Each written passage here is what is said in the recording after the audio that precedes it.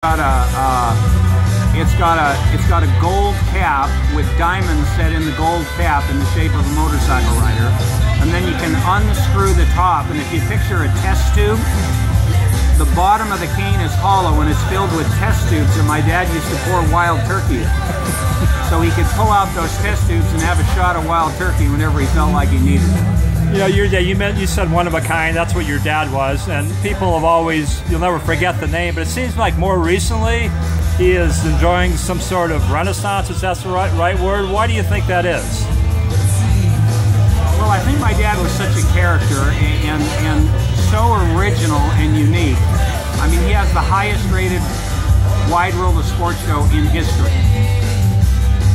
And I think he just came along at a time in history that that that that he was able to exercise his creativity and imagination, and he had the guts and the glory and the looks and the ambition to go along with it.